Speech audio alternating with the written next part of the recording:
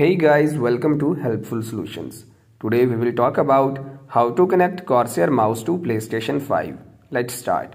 First of all, make sure your Corsair mouse is compatible with PS5. Models like the Katar Pro Wireless are designed for use with both PC and PS5. To connect wired mouse, plug the mouse USB cable into an available USB port on the PS5. For wireless connection, if your mouse supports Bluetooth, make sure it's in pairing mode.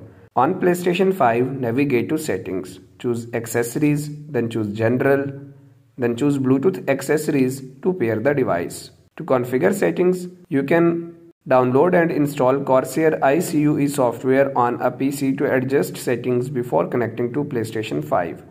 This is optional, but you must note that some features may not be accessible on the PlayStation 5. That's it guys. Thank you.